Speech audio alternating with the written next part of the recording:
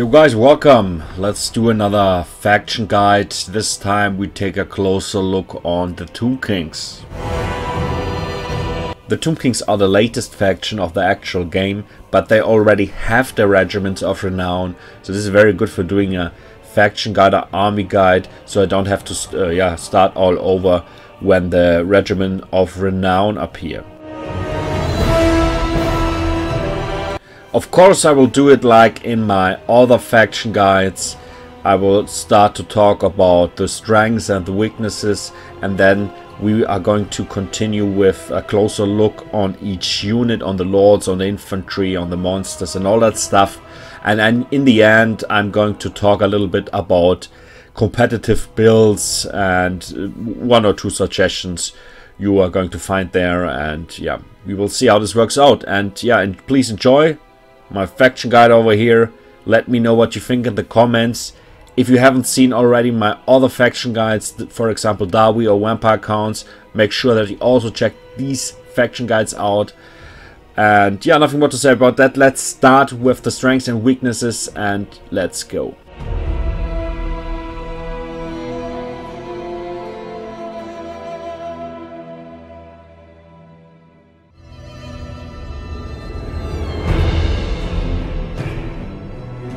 So let's talk about the pro and cons and let's start with the strengths I would say. The biggest strength of the Tomb Kings are definitely their big monsters or constructs. So Sharp, Decameron War Sphinx, Necro Sphinx are just a few out of the roster so we can see we have a huge selection of different monster models available and this is the most important point for the Tomb Kings. Without their monsters they are quite useless you can say. The most the biggest advantage by far are their monsters. So you are going to find in 99% of all matches monsters in the builds mixed with infantry, mixed with cavalry in the army composition of course but monsters are very important the most important point because it makes the whole army more steady and this is the reason why in the most cases all player are going to take one or two monsters or more to the battlefield. Another advantage in this case is that the Tomb King units crumble instead of routing and then then they're not going to rout off they're starting to crumble after a time like the vampire counts. And as I explained in my vampire counts faction guide this can either be an advantage or a disadvantage. But in the case of the Tomb Kings I would definitely say it is, it is an advantage because the most infantry units are very low tier or quite low tier. So they are would rout off very fast. So crumbling is a, a, a huge advantage in this case. So your front line is more steady and uh, spots are not going to break up very easy, not very fast. And this fact includes of course the next advantage that the Tomb King units are also naturally immune to psychology. They are not going to get terrified or routing off and all that stuff. So this is this is also quite an advantage over here. Also a advantage is of course that all units causing fear like the vampire counts is also in the most cases advantage on the battlefield. And of course the monsters causing in addition to that terror. Another quite unique characteristic, quite a unique advantage are their monsters. They are not only monsters, they are uh, constructs and these constructs are really curable. So we have uh, for example the necrotect and with this necrotect you can cure you can heal up your monsters. And this is quite a unique characteristic or this is quite an advantage you can say. It's quite similar to the dinosaurs from the lizard man also heal curable very easy but uh, the, I would say this is an advantage and worth to be mentioned Another unique feature of the Tomb Kings is the Realm of Souls. And the Realm of Souls provide regeneration for your troops if you reach tier 1, tier 2 and tier 3 and how many deaths of your own troops are necessary for that you can find this information as I said in the upper bar over there. If you are going to reach tier 1, tier 2 and tier 3 your units will get a uh, regeneration for a short period of time. And in addition to that, in tier 3 you can spawn a group of Ushabti what is quite good. Overall I don't see any tactic to uh, in, uh, interact with this ability or with, with this feature. So in the most cases you are going to reach the tier 3 and you are able to spawn your group of Ushabti.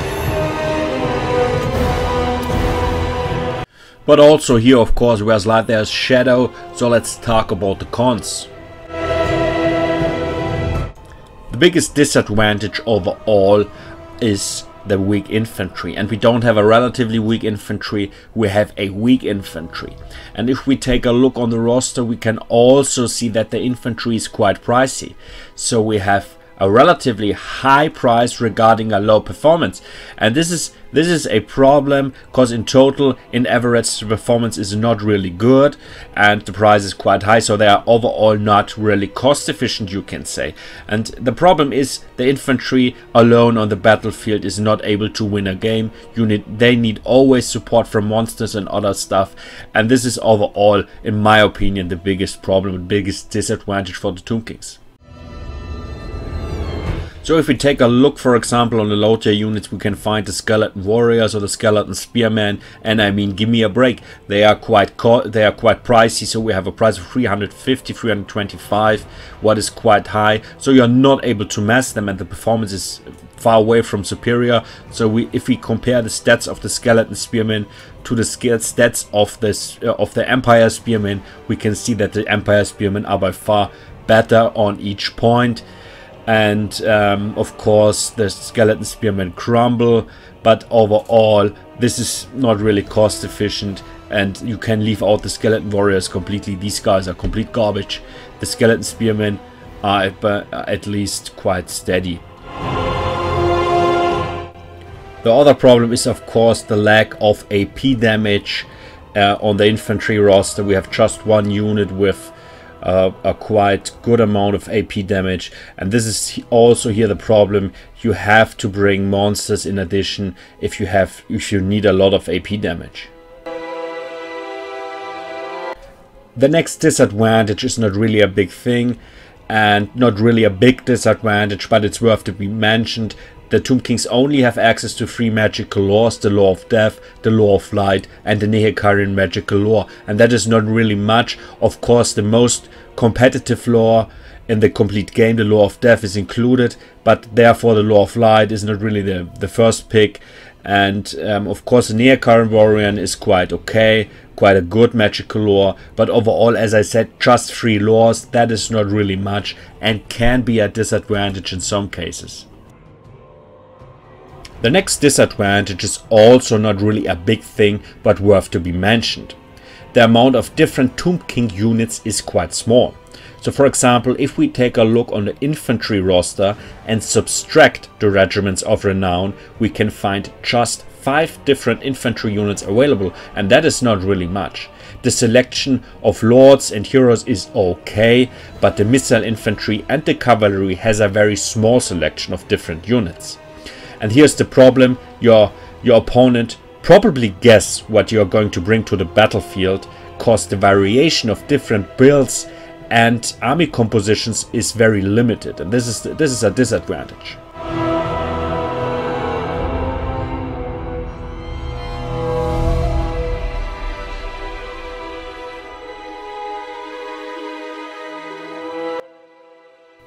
So let's start with the lords and let's directly start with the cheapest lord on the roster, the Tomb King.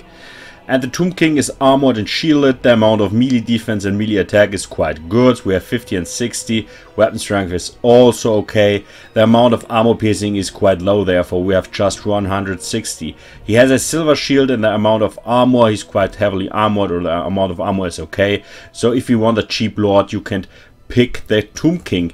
It's also able to set him on a Khemrian War Sphinx, a Skeleton Chariot and a Skeleton Steed. So if you don't need too much AP damage, you can bring him, but also on the Khemrian War Sphinx, the uh, amount of armor piercing increases tremendous so we have then an amount of armor piercing damage of 345 and a bonus versus infantry so if you want to save money this is quite decent The next lord on the roster is the High Queen Khalida, and the High Queen Khalida is a quite good duelist. She's causing poison attacks, has very good melee stats, melee attack, melee defense, the weapon strength is okay, but she is also on foot not the highest amount of AP damage. Also the armor is on foot not the best, so we have just 50. So if you sit her on a Necro Serpent, the stats uh, increases tremendous. Also here we have then a much higher amount of armor piercing damage of 315 and also the amount of armor increases a lot. We have 90 over here. So it's um, the most competitive way to pick her is on a necro serpent and also skeletal chariot skeleton, skeleton chariot is available. But I, I, I would always recommend to bring you on a Necro Serpent. You can deploy this combination for about 2000 credits. And there are also some really useful abilities available, for example the Curse or My Will Be Done. So um, it's, High Queen Khalida is in my opinion a little bit underrated. She's quite a good duelist on the Necro Serpent.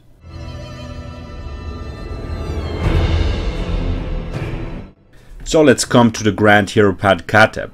And he's a pure spellcaster and not designed to fight in melee combat against other units. He's not a hybrid unit, as I said, just a pure spellcaster. He is very low on armor, has really bad melee stats, and the weapon strength is also really low. He's using the Nehekarian magical lore and is able to sit on a skeletal steed, a skeleton chariot, and as the only lord on the list on a Casket of Souls. And on a Casket of Souls he works as a artillery unit, but overall he's too high priced for that performance and you can leave him out. He's not a competitive pick.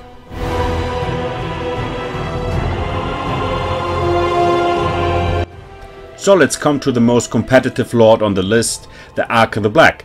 And Arkhan the Black is a spellcaster, but for a spellcaster he has quite good melee stats also. So we have a melee attack of 40, melee defense of 50, weapon strength of 450, and the amount of armor is 90. And this is for a spellcaster quite good, even if he is not designed to fight in melee combat.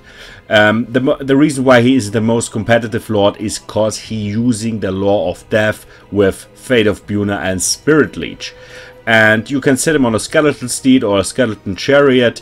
He has also abilities available. So overall um, as I said he's the most competitive lord and quite cost efficient. Romantic.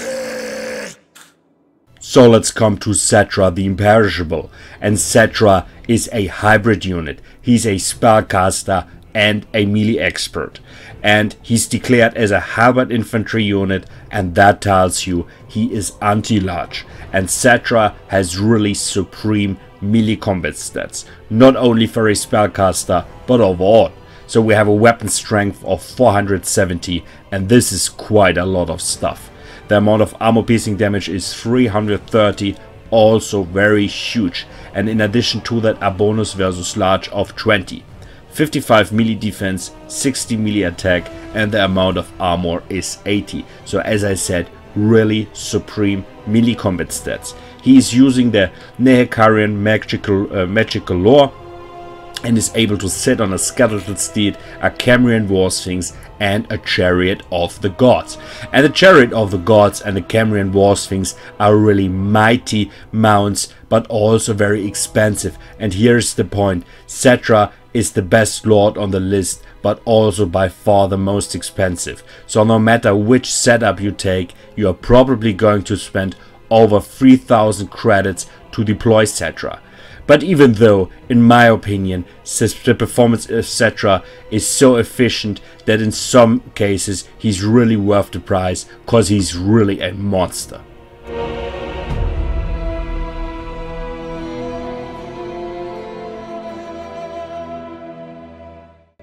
So let's start or let's continue with the heroes and start with the Necrotect. And the Necrotect is our anti-infantry hero. We have a weapon strength of 360, that is that is good. The ammo piercing damage is 120, what is okay, but therefore we have a bonus versus infantry of 20. The other stats are quite ordinary, I would say. For a hero is the melee defense of 30 quite low, but therefore we have a quite good melee attack of 45 but the amount of armor and leadership is not the highest. Therefore, the Necrotect has different abilities to support uh, the constructs, to heal them up, for example. What is quite, well, what is a, a good ability or good feature. And you can sit him on a skeleton chariot also. So in a blob of infantry units, the performance of the Necrotect can be quite okay, can be quite good. But the most important thing is the ability or the abilities to support the constructs over here. So this combination works fine. Just for a fight against infantry, I wouldn't pick him, but if you bring uh, constructs to the battlefield, in some cases the Necrotect can pay off. So let's come to the Tomb Prince and the Tomb Prince is in my opinion more relevant because he is anti-large and also his other stats are quite good. We have a weapon strength overall of 370, the amount of armor piercing damage is 260, what is quite a lot for a hero. This is very good. And in addition to that we have a bonus versus large of 25. The melee defense with nearly 50 is very good. A melee attack of 36 is okay. Uh, he has a silver shield. The amount of armor is okay. So overall, very good combat stats, especially of course against fight fights against um, large entities, single large entities. The performance is here really superior. Unfortunately, he has not really good abilities, so you can leave out the abilities in the most cases, but you can sit him on a skeletal steed and a skeleton chariot. And of course, you will always sit him on a skeletal steed because he's more uh, tanky on a skeletal steed. He's not so squishy in fights against large entities, and he, has, he has, is really dangerous for large entities and really pay off. So he's more expensive than a Necrotect, of course, but always worth the price if you are facing up against large entities. So let's come to the spellcasters and we have three different types available. The Lich Priest with Law of Death, with Law of Light and with the Nehekharan Magical law. And the, the biggest problem over here is probably that um, Arkhan the Black already has the law of uh, Death, etc. and the Imperishable and the Grand Hero Khatep also using the Nehekharan magical law. So the most uh, lords you can choose from already uh, are spellcasters, so in the most cases another spellcaster is not necessary. But anyway, the Law of Death, of course, the most competitive law actually is available with the Lich Priest. The Lich Priest, the Lore of Light is not so competitive, but also in some cases quite good. And the Nehekharan magical lore is also available. So overall, nothing more to say about that. You can sit all spellcasters on a skeletal steed. And as I said, if you are choose or if you're taking a, a melee combat lore to the battlefield, you can bring of course a Lich Priest in addition.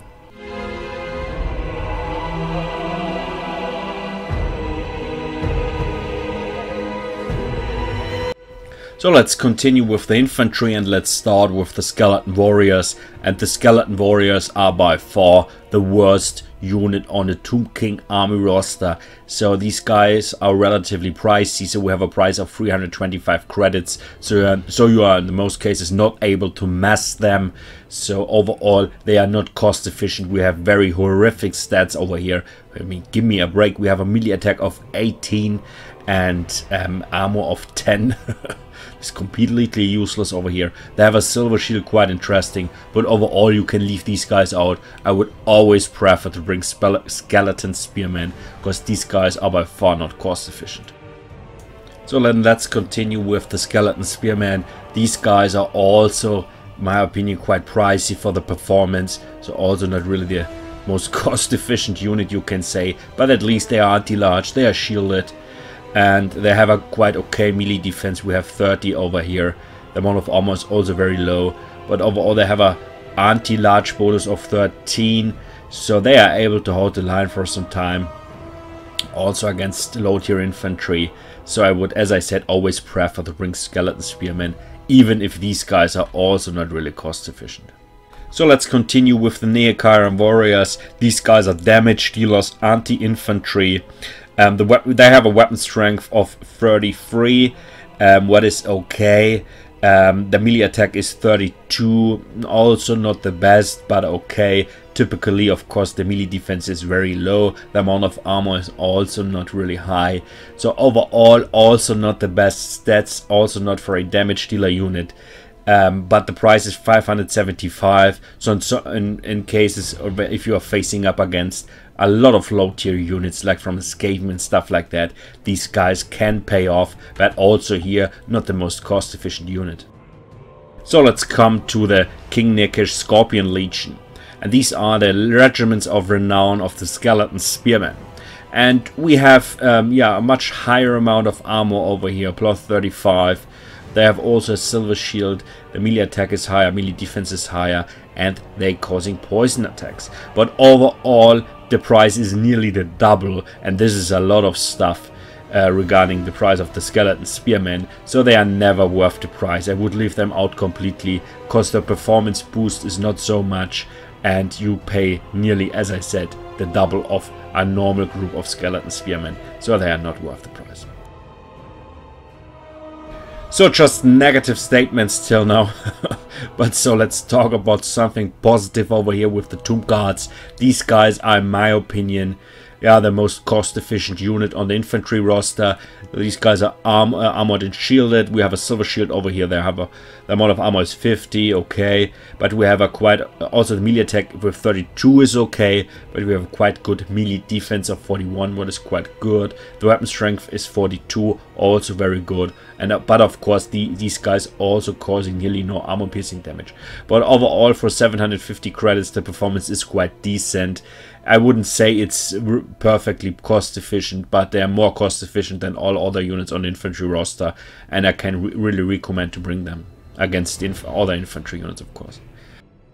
So let's come to the halberd version, and these guys causing armor piercing damage. We have amount of armor piercing damage of 20 and in addition to that these guys are anti-large. They have a bonus versus large of 19 the melee defense is also very good over here nearly superior. We have 47 therefore the melee uh, attack with 25 is very low. They have also a silver shield. The amount of armor is not the highest but the performance is in my opinion quite good especially of course against large entities. And we don't have to forget this is the only armor piercing unit on the roster. So for 850 credits I would really say these guys are cost efficient. So in my opinion the halberd version or the sword and shield version are the most cost efficient units over here. And um, if you need AP damage the tomb guards with halberds are really really good for that.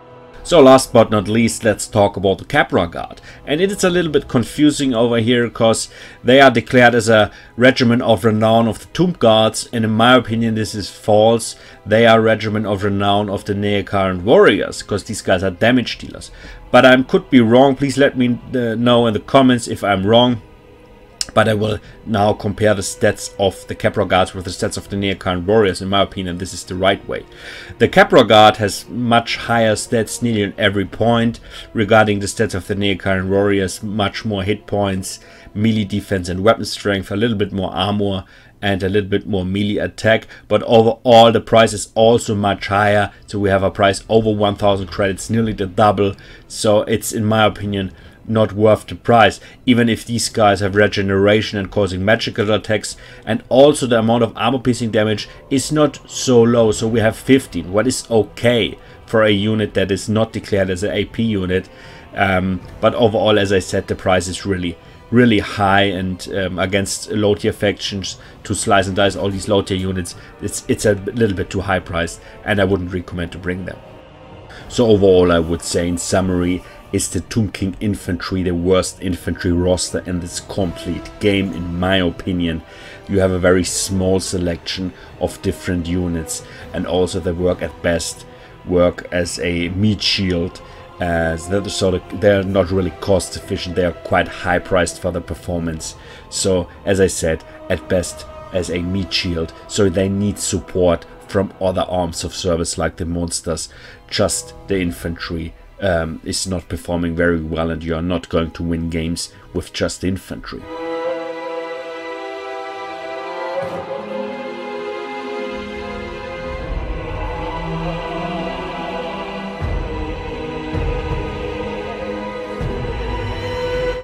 So let's continue with the missile infantry and let's start with the skeleton archers. And not much to say about them. These guys are so low tier. So if I compare the stats of the skeleton archers, for example, to the stats of the Ungor Raiders or Peasant Bowmen, other low tier missile infantry units of the game, we can see that the skeleton archers, the stats are much worse. So one of the worst missile infantry units of the complete game. Maybe the the worst missile infantry unit of the complete game. So, I mean, they're very low range. The missile damage is very low. The armor piercing amount is nearly zero of the missiles. And um, therefore, they have a relatively high price with nearly 500. So, they're really not cost efficient and just in some matchups worth to bring. Uh, for example, if you're facing up a lot of low tier units, but they are really not cost efficient overall.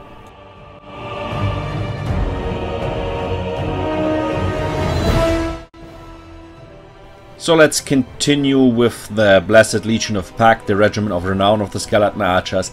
And quite interesting fact over here is that these guys have armor sundering and they will reduce the armor of your opponent by 30, what is a lot of stuff over here. And this is a quite interesting fact. They have overall a much higher range, so we have 160. The amount of armor is higher, the melee stats are a little bit higher, but this, this information is quite useless. Um, so armor sundering is a quite interesting fact and you can deploy the group for 725 credits. In my opinion, also a lot of stuff. But in some cases, it can be really an advantage if you are reducing the armor of your opponent by 30. So in some cases, these guys are worth to bring. And of much, the cost efficiency is higher than the normal skeleton archers for sure.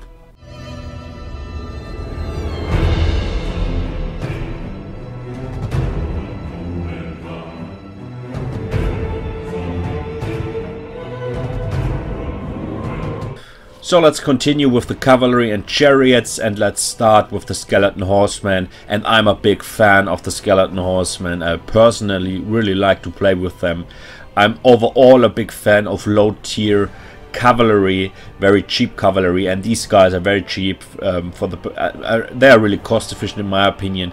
You, you, can deploy one group for 400 credits. Of course, the stats overall are really low. I mean, we have a melee attack of 22, a melee defense of 26, a really low charge bonus of 26, but at least they are shielded and are really able to take out a, a group of low-tier missile infantry or chase uh, chase out um, routing units. For this purposes, these guys are really good. And as I said, you can deploy one group for 400 credits. So if also if you lose the group against um, mid-range or high-tier cavalry, you do nothing wrong. Uh, you, lo you lost for 400 credits in this case. So it's, uh, in my opinion, worth to bring in some matchups. And uh, I really love to play with them. Then we have also a sword and shield version called the Nehekarian Horseman. As I said, they are shielded, they are anti-infantry, they have much more armor. So we have an armor of 50 over here. Um, higher weapon strength, 38, what is quite decent. Um, um, quite okay or quite good. Melee defense is 35 and the melee attack 28. So the stats overall are not bad. They're quite good or quite okay. Also a little amount of armor piercing damage of 10 and you can deploy these guys for 650 credits. So also here in my opinion a quite cost efficient unit. It's not so expensive. Of course you don't have to expect any wonders.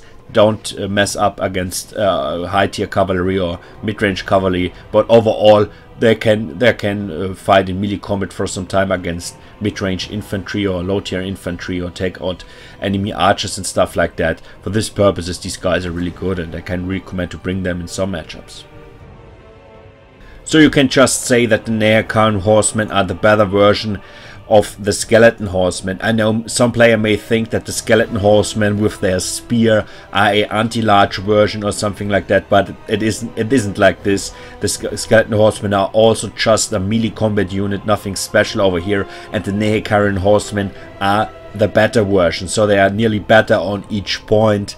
So if you need a, a better cavalry unit that is able to stay in melee combat for some time against mid-range and low tier units you need the Nehekarian horseman you spend 250 credits extra charge and in some cases it's worth the price. Yeah so yeah you have to decide. So overall there is no high tier cavalry uh, available on the Tomb King army roster, but these two units are really cost efficient in my opinion and really worth to bring in some matchups. So let's come to the skeleton chariots and the skeleton chariots have really bad melee stats but therefore they have a bonus versus infantry of 12 what is quite good. The charge bonus of 52 is also good but the most interesting fact these guys you get 9 models with just one unit and this is quite unique but therefore they have a very just a they are very low on mass so they are not really overrun all infantry units. And the other problem is a little bit with the micromanagement because all the time one or two chariots get stuck in a group of infantry units so it's very difficult to control them. So I wouldn't recommend to bring them. They are not the best unit. Even if the price is not really high we have a price of 900 but overall as I said they are really difficult to control and um, they are they are not good at all I would say. Or not worth to bring.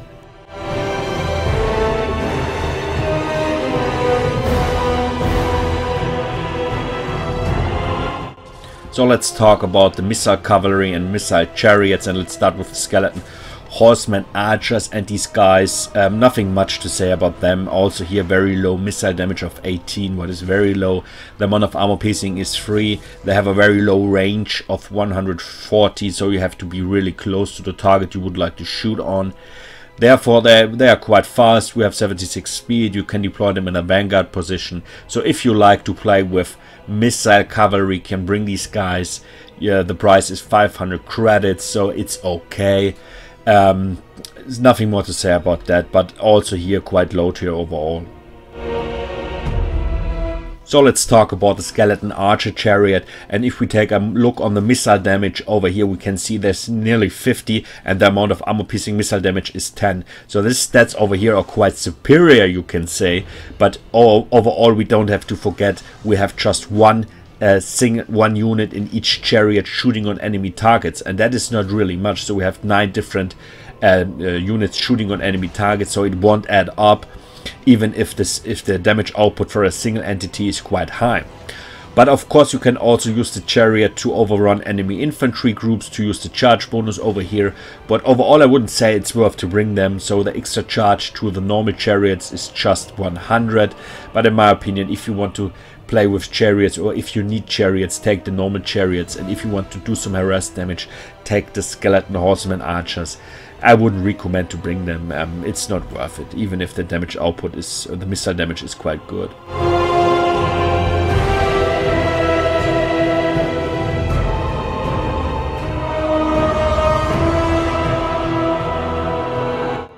So let's talk about the monsters and constructs and let's start with the Carrions and I am a big fan of the Carrions because these guys are really cost efficient. You can deploy a group for 350 credits. Um, you can deploy them in a vanguard position.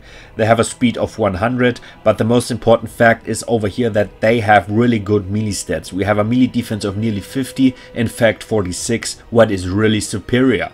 The melee attack therefore is not the highest so we have just 26 but we have a weapon strength of 40, very good. And the amount of armor piercing damage is also not really bad, so we have 10. So these guys would really benefit from a spell that increases the melee attack.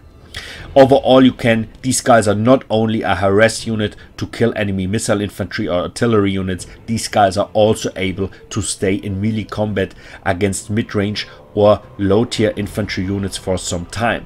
The only disadvantage is over here that the model count is only 18 and we don't have to forget this is not not really high so we have just a few models but overall they're really cost efficient and I can really recommend to play with them.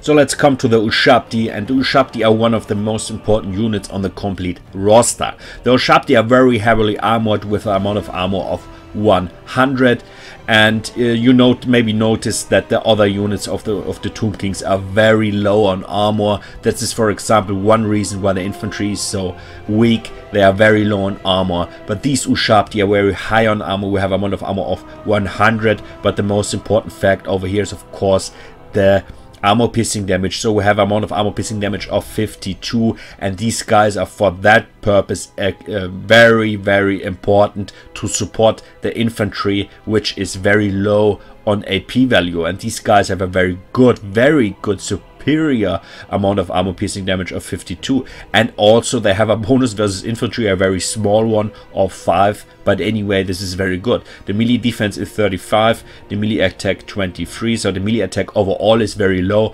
Also these guys would really benefit from spells that increases their melee attack. For example, Birona's Time Warp from the Lore of Light would really, uh, the, these guys would really get a huge boost, uh, performance boost. And yeah, nothing more to say about them. They are armor piercing. They have a little bonus versus infantry. The only disadvantage over here that these guys have just 12 models only. It's not so much, but they are really important if you need a lot of AP damage. And uh, these guys are really a very fantastic unit because these guys have, as I said, really superior stats. Overall, a weapon strength of 72, what is very high. Uh, the best use is to bring them in your own infantry ranks, that they are not isolated and that you are let them fight against other infantry, armored infantry units. That is the best use for them, and then you will get the highest performance output.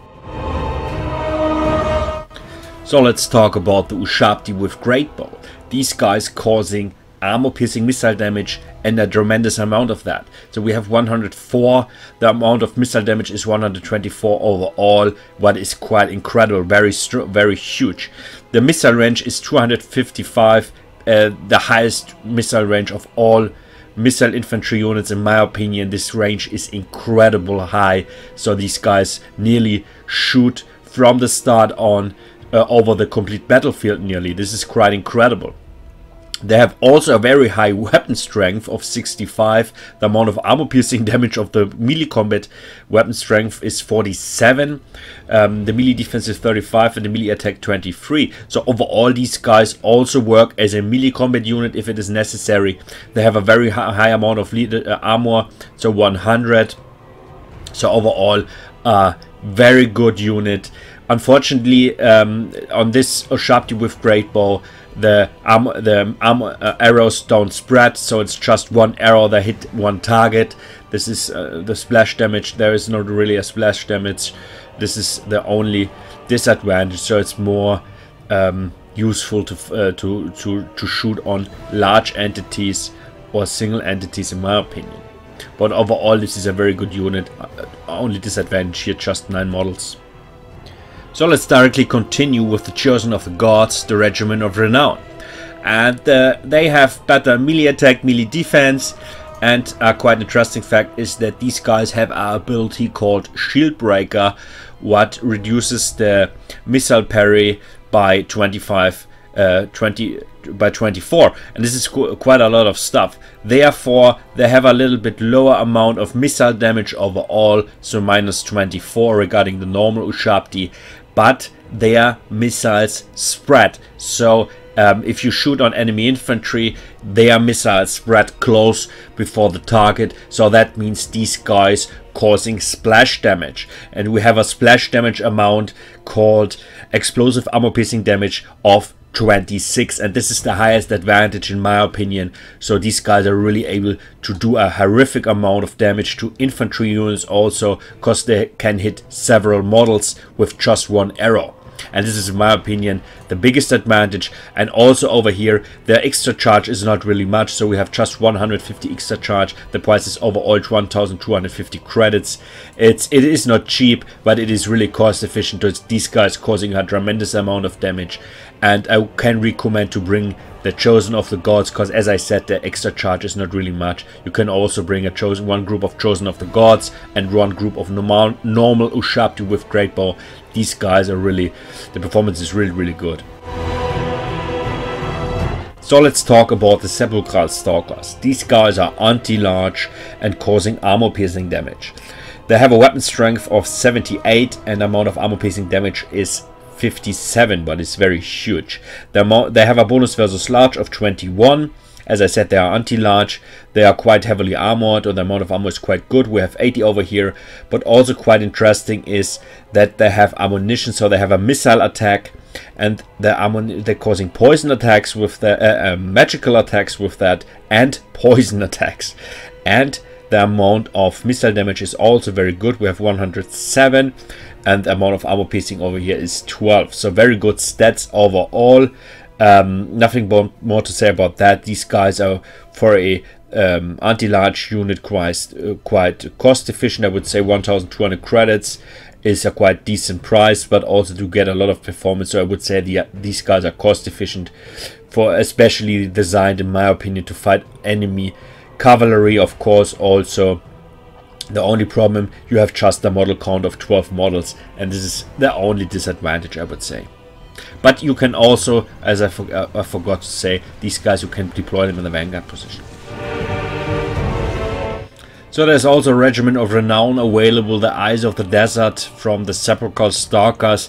These guys, uh, the most significant point over here is that these guys have much more missile damage. And also they have, a, uh, have this Stalk ability, also quite interesting fact.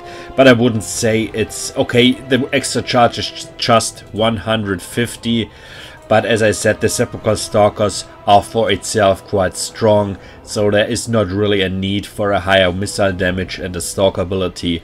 As I said, the Sepulchral Stalkers are also available to deploy them in a vanguard position, so even if the extra charge is here not really much, I wouldn't say it's worth to bring the Eyes of the Desert. So let's talk about the Necropolis Knights.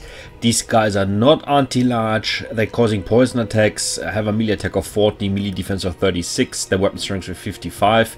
They're causing a lot of armor piercing damage, their amount is 36. They're quite heavily armored with an amount of 90. They have a silver shield, so they are designed to fight, wouldn't say armored infantry in my opinion. Um, the price is yeah, quite high. We have a price of 1,300 credits, so maybe in some cases worth the price. But the Tomb Kings have other tools, so there's not really a task for these guys, and I would leave them out, even if they are not bad. So there's also a halberd version of the Necropolis Knights available. These guys are lower on melee attack, melee defense, weapon strength overall. Also the amount of armor piercing damage is a little bit lower, um, this, the rest is quite the same except for the anti-large bonus. So these guys are anti-large and they have a bonus versus large of 28, what is quite a lot of stuff. And this is the only difference over here, or the only advantage that these guys are anti-large. They're also not shielded. So if you need an anti-large unit, you can pay these 100 extra charge. But as I said, these guys are now quite expensive for 1,400 credits, and it uh, it's preferable to take something else to um, to compete against large entities. Their purpose would be to fight other large entities with several models like trolls or demigryph knights, but their model count is also not the highest, so in my opinion I wouldn't recommend to bring them.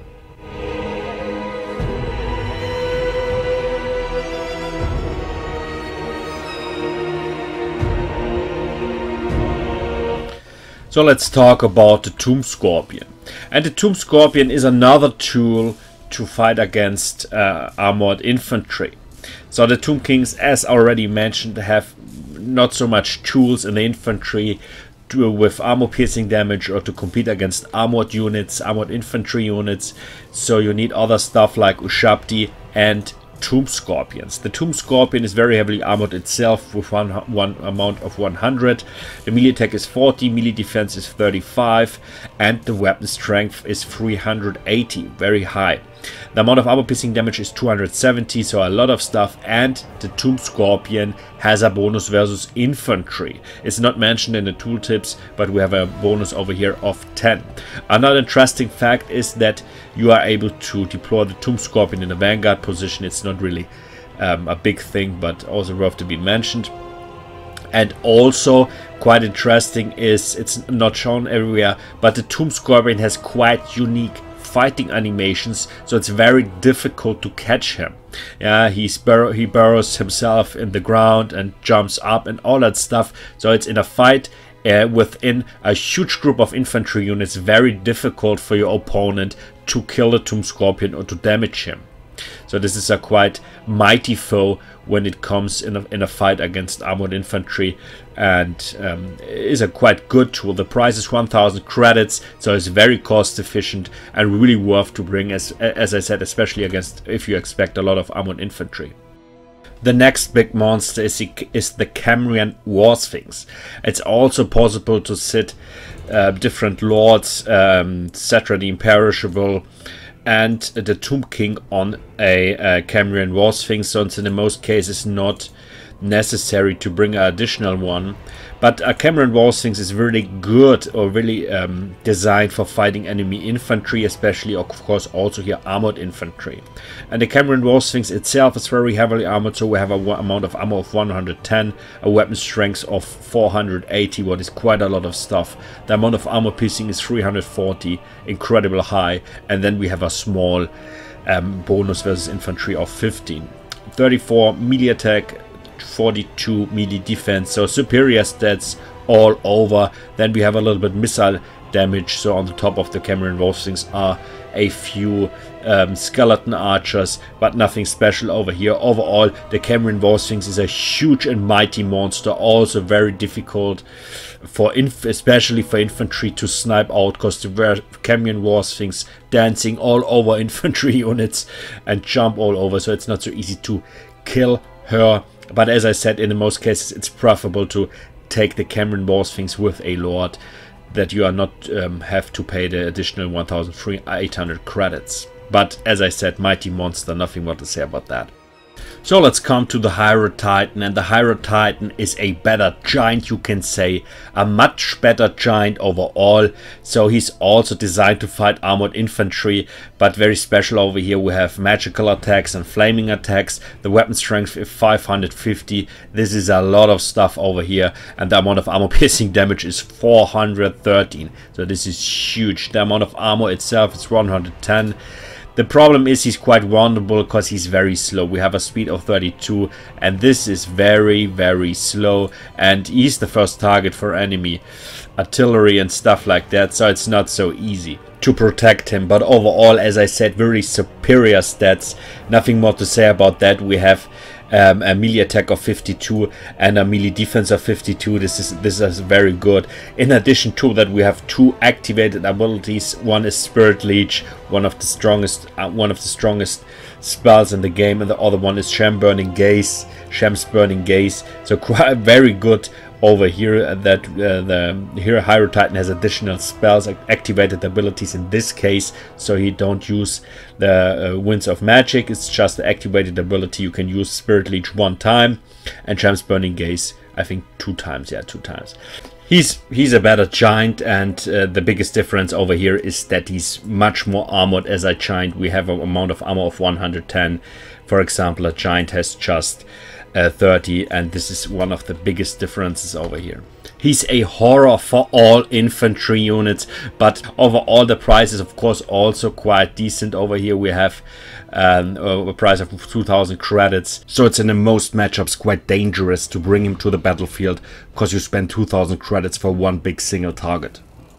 So let's talk about the Necrosphinx and the Necrosphinx is also an incredible strong monster. We have the same amount of armor over here, 110, a 42 uh, melee attack, 50 melee defense, 550 uh, weapon strength, incredibly high. The amount of armor piercing damage is 400 and we have a bonus versus large of 35.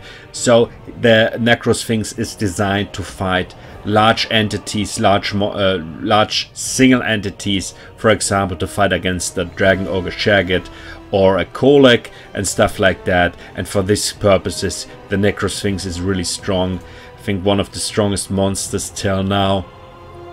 And in my opinion, if you are probably facing up against a lot of giants, Shaggoths and all that stuff, a Necrosphinx is really necessary. You have to bring her and um, yeah nothing more to say about that incredible strong monster and uh, can really recommend to bring if you are facing up against single large entities interesting fact is that the necrosphinx um, should be able to take out or to kill a dragon ogre Shaggoth the price is the same but we have um, much more armor on the side of the Necrosphinx plus 40 and the weapon strength of plus 90.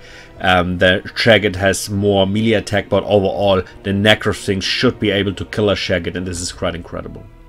Much more incredible is the fact that we have also a regiment of renown here, the Sphinx of Usek. These um, these Necrosphinx has plus 10 melee attack, plus 10 melee defense causing magical and flaming attacks and as a little bit more melee attack and a lot of more hit points. So we have plus 1000 quite incredible fact over here.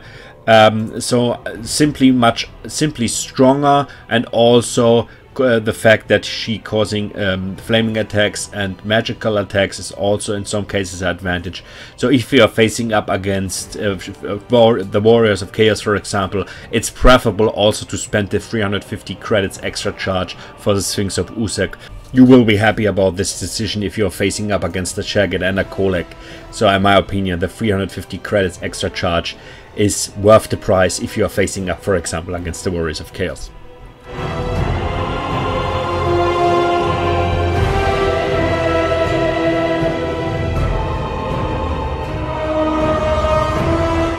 So let's talk about artillery and war machines and we have here or we let's start with the Screaming Skull catapult. And the Screaming Skull catapult is a quite good artillery machine. It's for uh, yeah to for anti-infantry to kill infantry units. We have a range of 380 what is quite okay quite good.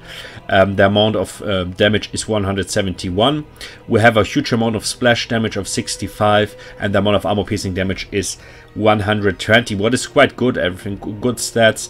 Um, uh, the Screaming Skull Catapult has an ability called Take Over, reduces the, the leadership by minus 8 also very quite good quite good fact. And as I said she causing uh, the Screaming Skull Catapult causing uh, poison attacks so in some cases against infantry low tier infantry but also armored infantry the Screaming Skull Catapult is a quite good artillery unit because especially it's not very pricey so we have a price of 750 and in my opinion this is quite cost efficient for for that performance and as I said in some cases really worth to bring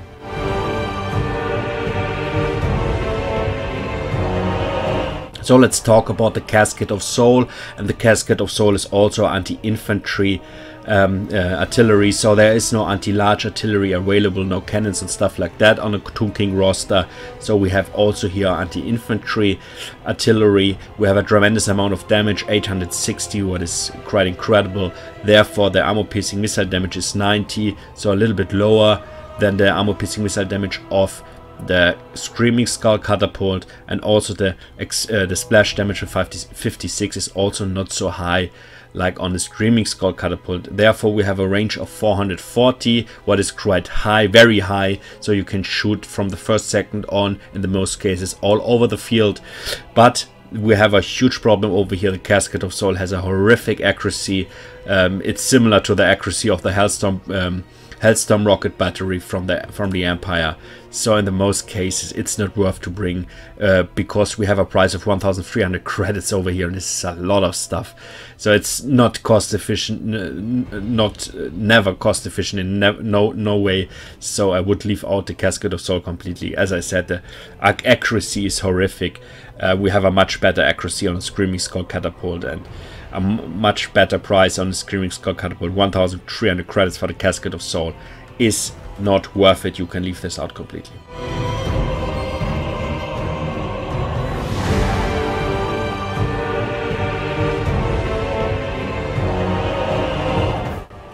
Yo guys, as promised, here the tactical part. I'm going to show you two or three different builds you can use competitive builds you can use against your enemies but all of you know um, the build you are creating depends on which faction you are going to face up so uh, it's not easy to uh, say this is a general build or all-round build but I think I have two or three different builds for you that's working well in two or three different situations and this build over here I created for a fight against for example against chaos against heavily armored units and um, also with monsters.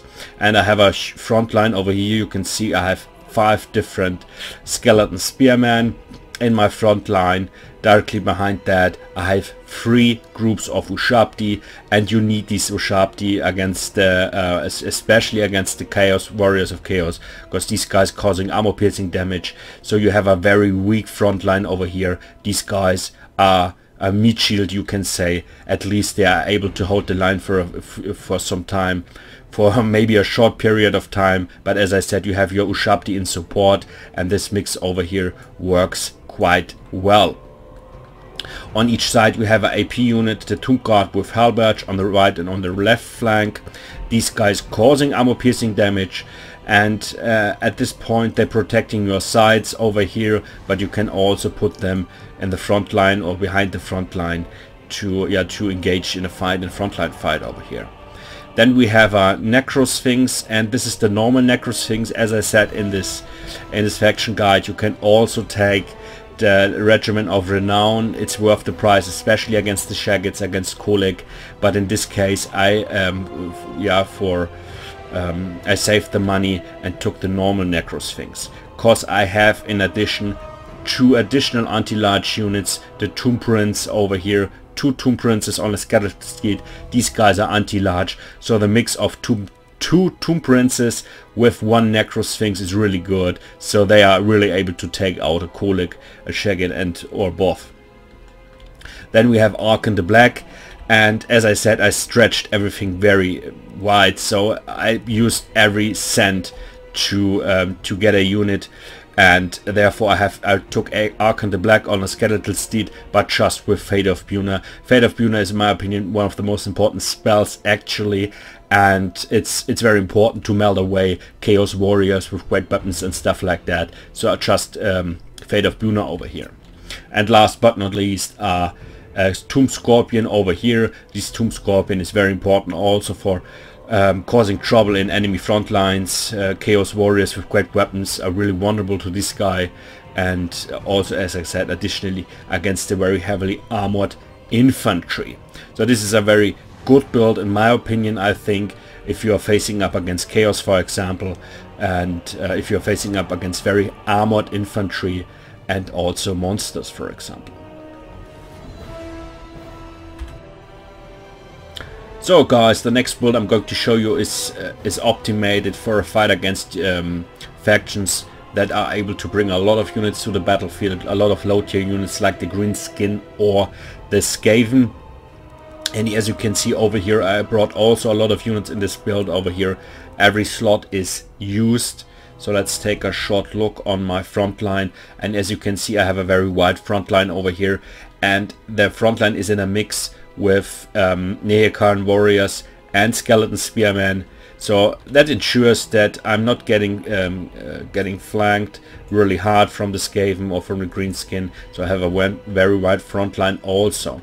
Ne Nehekharan warriors are good for slice and dice um, small uh, low tier units I mean and the skeleton spearmen are able to hold the line for a good time against mid-range or low tier units.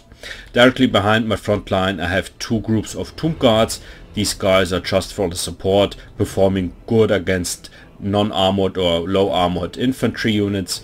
Then we have a Tomb Scorpion over here because all infantry units in the complete game struggle or have problems with the Tomb Scorpion except maybe for the Phoenix Guard or the Black Guard of Naggarond. And then I brought a Settra the Imperishable with different abilities on spells on the Chariot of the Gods, for example, Wrath of Ptra, um, causing exploding damage around himself is if he gets surrounded from a lot of Skaven, for example. Then Sakhmet's Incantation of the Skullstorm and Usirian's Incantation of the Ven of Vengeance. So different spells and abilities over here quite expensive by my opinion in this matchup worth the price but of course you have to be careful if you're facing up against Skaven for example the Warp Lightning cannon is a very dangerous foe against your uh, against your large entity. So also never bring a Hierotitan for example against the Skaven against the Greenskin I would probably bring one but against the Skaven never because a Hierotitan gets down very fast from the Warp Lightning cannon. Also here um, eh, the Tomb Scorpion is not so a easy target. He's very, it's very flat on the ground, so it's in the most cases he gets not hit with every shot, so it's a little bit has a little natural protection over here. But you of course also said you have to be really careful.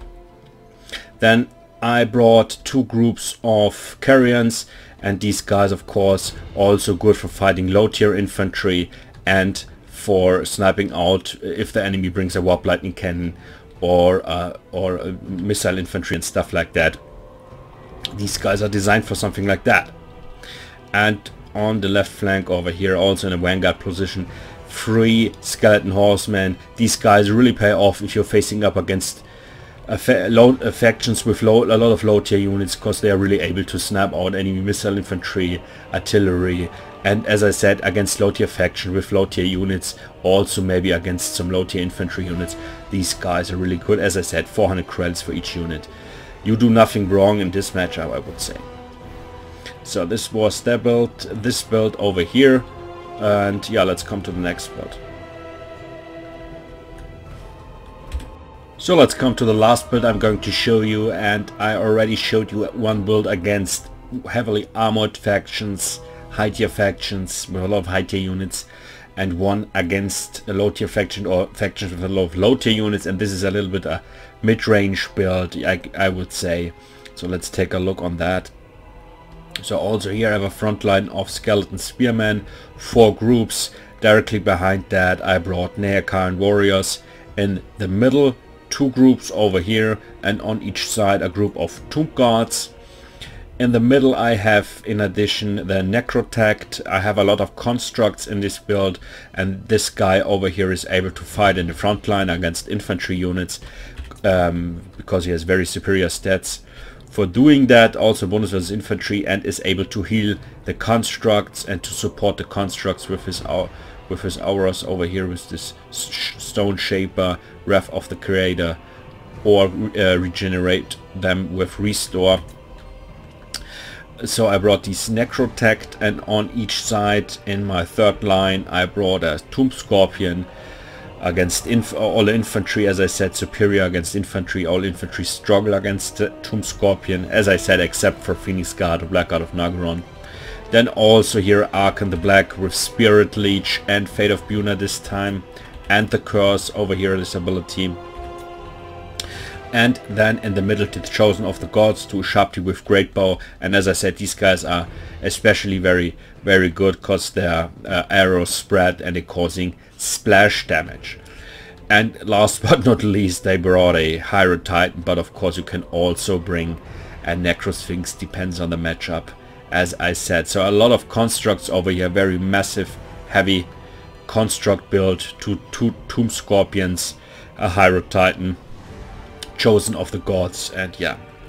And yeah, also here I brought for harass um, enemy artillery or missile infantry units two groups of carrions. So I think these guys are quite decent. It depends uh, if you're going to bring carrions or skeleton horsemen against which faction you're going to face up. Against the Empire I would probably bring Carrions, not Skeleton Horsemen. So against factions with a very good cavalry I would bring Carrions because um, your opponent are going to, is going to bring a lot of cavalry probably. So Carrions are the better pick then. But anyway, uh, I hope you liked my build. If you have any questions, as I said, this is just um, uh, it depends always against which player you are going to face up or against which faction. So it's not so easy to create builds just in general, but I think these three builds are quite decent. But anyway, so let's come to the summary over here.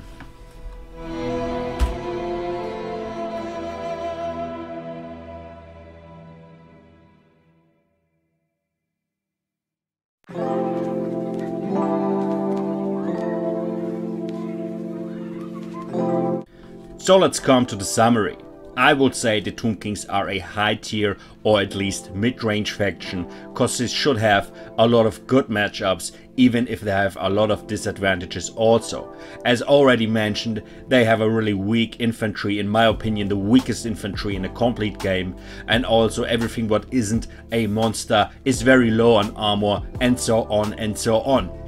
But even though the performance, if you are able to protect your monsters and if you are fighting against your enemy with the right build, you're probably going to succeed because the Tomb Kings have a lot of power in their builds with the constructs, a lot of crushing powers to crush the enemy front line, to overwhelm the enemy front line. That is the advantage of the Tomb Kings because your opponent has to deal with these constructs, with these massive monsters and this is not so easy.